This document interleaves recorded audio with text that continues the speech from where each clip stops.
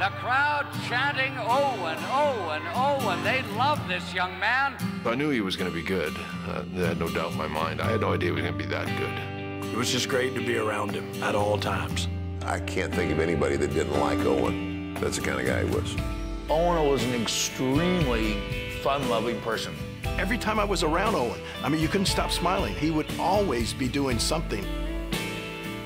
This is a young man destined for superstardom. I'll never forget the first time I saw Owen Hart. And I saw Owen Hart do all of these things that I'd never seen before. His legacy is that here we are all these years later, still talking about Owen. Never saw him, man, in a bad mood. To me, Owen Hart always looked like he was enjoying himself. That was probably the most appealing thing about him. He was amazing. He was amazing everywhere he went.